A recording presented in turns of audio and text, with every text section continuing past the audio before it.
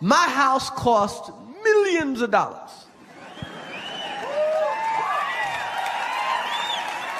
Don't hate the player, hate the game. Comedian Chris Rock has long been entertaining his fans from his early days at Saturday Night Live to more current times with his Netflix stand-up specials. Chris comes across as pretty low-key, and part of that probably has to do with the fact he doesn't live in Hollywood, but he does have a pretty impressive estate in Alpine, New Jersey, the most expensive neighborhood in the state to boot. In this video, we'll look at where the funny man calls home, and we even found some of the listings. What are we waiting for? Action! Chris Rock is a comedian, actor, writer, producer, and director. I think George Lucas gonna sue somebody. Although he worked as a stand-up comedian and appeared in small film roles prior, he rose to prominence on Saturday Night Live in the early 90s when he was a cast member. In the 2000s, Chris then moved on to starring film roles and kept going with his stand-up, even being voted one of the top five greatest stand-ups by Comedy Central. Stand-up's the only art form that once you get big at it, you're encouraged not to do it anymore. He's had a series of acclaimed specials on HBO and more recently has some for Netflix, and of course developed, wrote, and narrated the sitcom Everybody Hates Chris, which was based on his early life. In his early life, the comedian grew up mostly in Brooklyn, New York. It makes sense then that Chris long owned a gorgeous carriage house in the same city, living there during the SNL days, which of course we'll also be taking a look at soon. At the time of this recording, Chris's net worth is at an estimated $100 million or more, which may be a lot higher than you'd think. But considering even recently the comic took home a whopping 40 mil for two Netflix specials alone, I'm not surprised. Hey guys, it's Kara. Today we're doing another house tour here on Famous Entertainment. Although Chris Rock is pretty private with his main house in Alpine, today we'll be taking a look at where the comedian calls home. I'll be giving you the details on his main New Jersey mansion, or what I know about it anyways, his Brooklyn carriage house, and more. If you like these videos, make sure you're subscribed and ring that bell to be notified when we post so you can always be up to date. Follow me on Instagram to chat and as usual, let me know whose house tour is next in those comments down below. Now let's get into this video.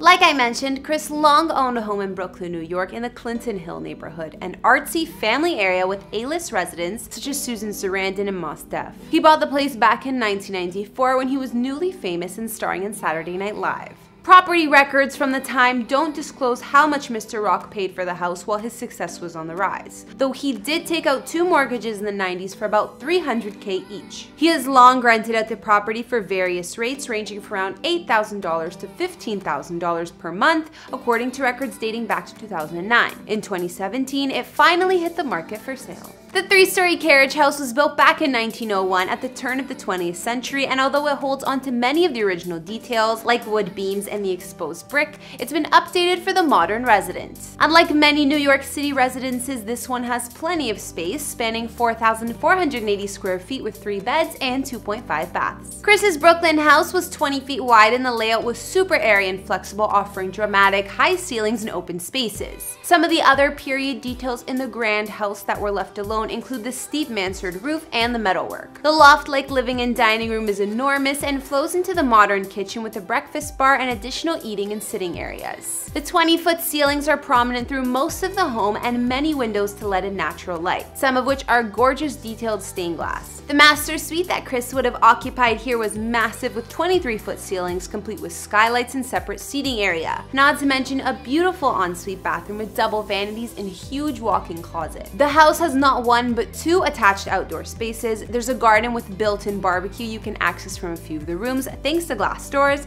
as well as a rooftop deck, making the home quite the urban oasis. Additional amenities as per the listing include the basics like a full laundry room central AC, tons of closet and storage space, as well as a private two-car parking garage, which isn't so basic in terms of New York City, it's actually quite rare. Although Chris's gorgeous turn of the century modernized carriage house served him quite well over the years and gave him some extra income while he rented it, he ended up selling it for 3.35 million. Now let's see where Chris calls home in New Jersey. Chris has been living at his current home for quite some time now according to property records. He bought this mansion for 3 million back in 2001. We even found those property records and that's how I know his mega estate is in, or right past the posh Timberline Estates where other celebs live as well, including the likes of Lil' Kim. And clearly, I'm not the only one who knows Mr. Rock still lives here. A couple years back, his address was exposed by a realtor on their celebrity trick-or-treat list. I mean, what kid wouldn't want to go to the wealthiest homes for Halloween? Anyways, those records show that this home was purchased by Chris and Malaak Rock, which of course is the comic's ex-wife and mother of his children. So there's your proof.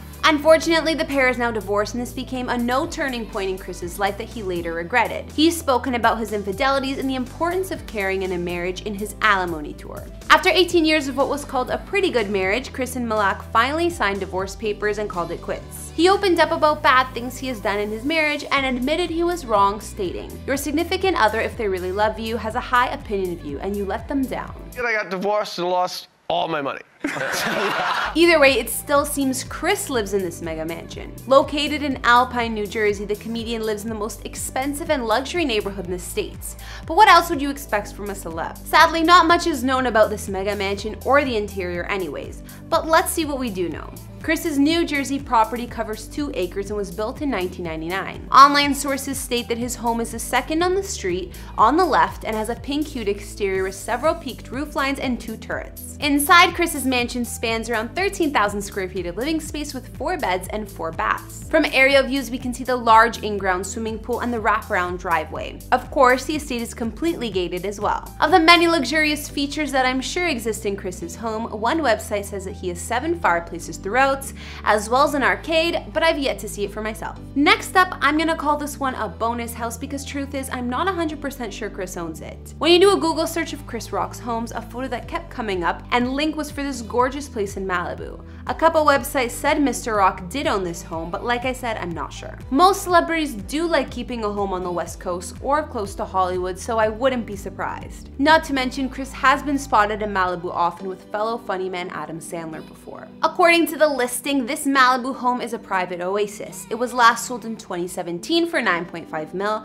so hey, maybe it was Chris who bought it, because from my memory, that's the same year he sold his Brooklyn place. Anyways, the house spans over 8,300 square feet with 5 beds and 5 baths, and sits on about 1.5 acres of land. The Malibu home was custom designed and is perched behind gates on a very private road for ultimate security. The common spaces have wooden ceilings and floors as well as fireplaces and many floor-to-ceiling doors and windows with access to the outside patios. The property has a very tropical vibe and has also been described as Balinese style. There's a massive gourmet kitchen and dining area with commercial grade appliances and more than one living room or family room nearby. Other features include a large screening room, home gym, and a beautiful master suite with two large walk-in closets. Not to mention there's an additional guest house that overlooks the huge pool and lounging deck and a three-car garage. This Malibu house has a great indoor-outdoor feel to it and looks perfect for entertaining. Like I said, I'm not sure if Chris owns the home or it's just a rumor, but whoever is lucky enough to occupy this Malibu estate